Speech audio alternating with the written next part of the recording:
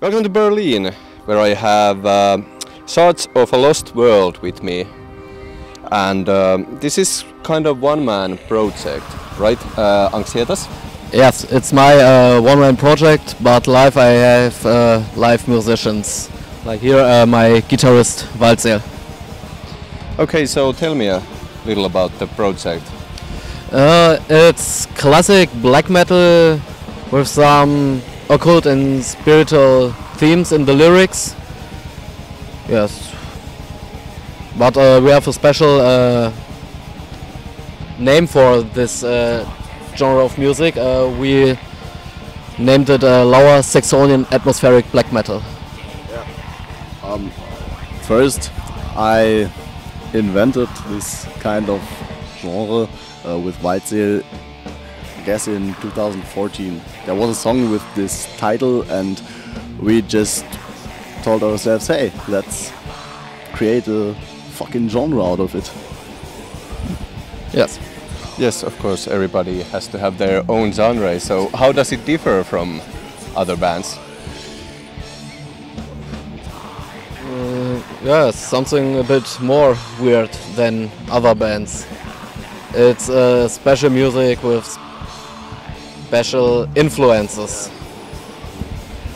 Well, there are very many sound experiments in some parts of the songs, um, which you, uh, yeah, it's kind of surprising effect. But um, it's hard to tell here. Just well, the best way would be to to li- listen to it. Yes. Yeah, of course. Uh, uh, people are gonna now listen to it, but uh, can you still a little elaborate? You said it's uh, traditional black metal, but then it's also atmospheric. So uh, is there lots of uh, synth sound in there, or is it more brutal? Um, I changed the sound a little bit into more brutal. For two or three years, uh, I play long riffs, uh, very monotone, but now it's faster and um, during the last years, we uh, just changed our style with uh, and Shards of Lost World. So uh, is more the, the, the atmospheric and slow and um, yeah, a bit a, a, a bit more hypnotic. yeah, yeah, and, and a, a bit a bit uh, more melancholic. And um, Shards of a Lost World is the is Into the the face. It's into the face. it's the escalating part. Okay, uh, black metal can raise many kinds of feelings in people. So, uh, what kind of feelings do you want to portray with your music? Oh, some old feelings about old times, about the universe, uh, where we are come from, and where we go, the underworld. That's all themes in my lyrics. But the feeling is uh, do your thing. Don't follow other people. Do your own thing. So, in fact, every individual playing this kind of music has his or her own aura, and um, it would be crap to say, "Hey, this and this kind of black metal must be played. How? It, that's how it should sound like." No, we just uh, prefer the individual part in this kind of music. All right, then, where does the inspiration come for you guys for the music and the lyrics? inspiration from all around us, from the stars, from the forests, from rivers, from the nature.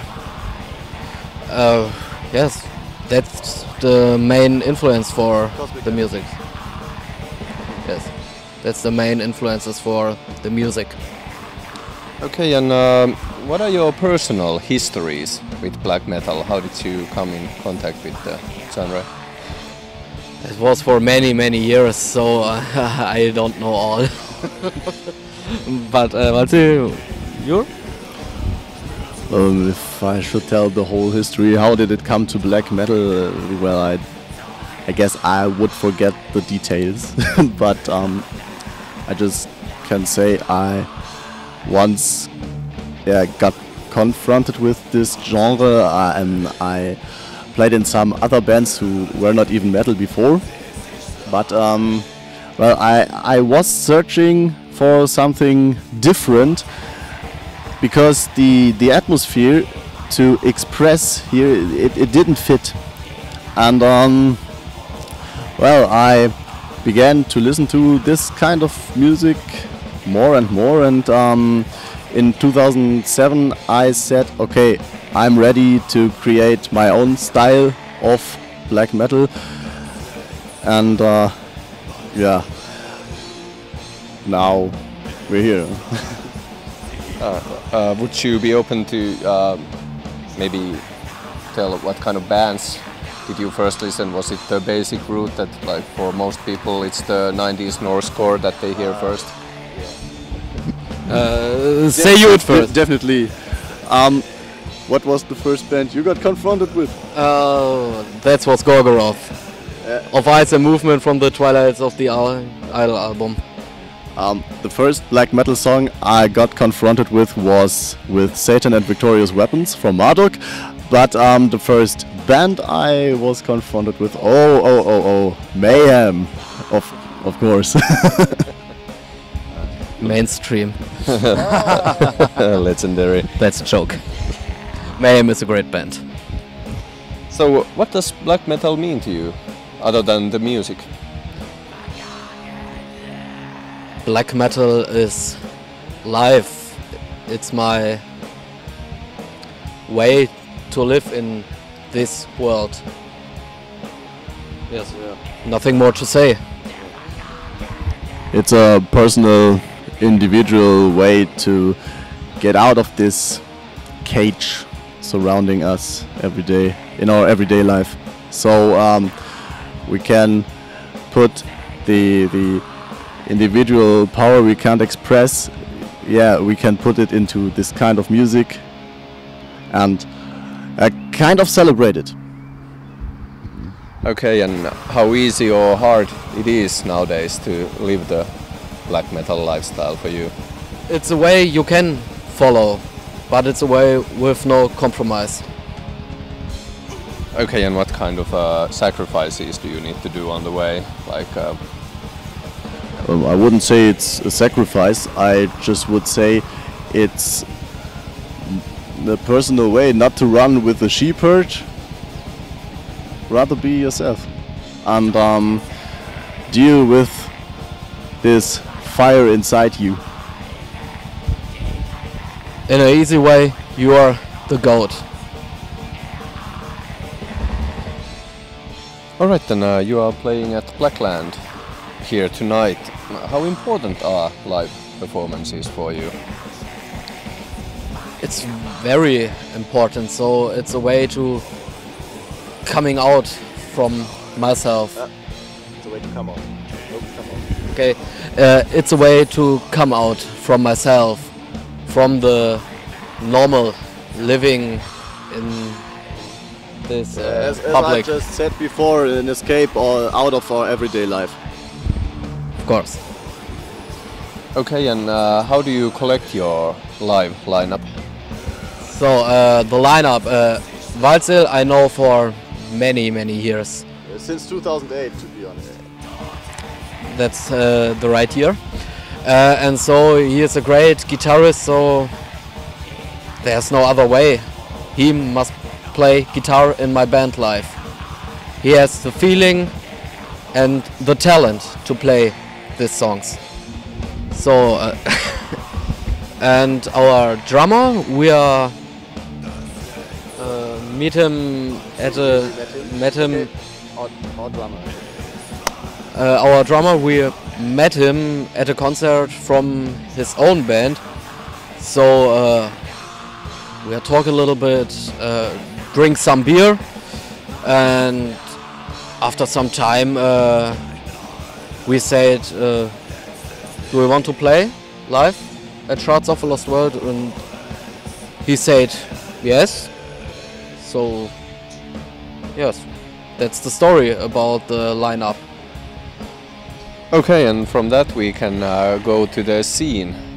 So, uh, first of all, which part of Germany are you coming from, and how is the scene in that part of Germany, and uh, then maybe Germany the Yeah, we are from Lower Saxony between uh, Hanover and Bremen. Uh, the scene, mostly the scene is a fuck up. There are some people like, oh, attention, attention, but they are only a piece of shit. Well, I wouldn't go so far to say that that's shit, but um, the problem is that, especially by uh, playing live, um, the crowd in Hanover, for example, is a bit boring. Um, just let me compare something with Weitze, for example. We played in Bern, in Switzerland, and um, the crowd directly escalated. That was great. They had this feeling which uh, we wanted to uh, to show up there on stage, and um, yeah, in some some uh, locations in Lower Saxony, um, there are there, there's it's often different to to let the the crowd come out of themselves. They are a bit like, are we allowed to clap now? And um, well, yeah, it is allowed to escalate. Set your fucking feelings free. Yeah, uh, it's not uh, a scene, but uh, it's more a little circle of the right people who understand what we make. Okay, let's uh, talk a bit about uh, Chaos Cosmos, the album that came out actually this year. Yes, today. So- oh, today. Okay. uh, so, uh, what can you tell me about Uh? Chaos Cosmos is a upgrade after the last album. It's more complex. It's more full of feelings. So and the themes are very very deep. It's about the universe, the energies, uh, about the death and the other side. Okay, thank you so much, guys, and uh, break a leg tonight. Thank you. Thank you. Thank you.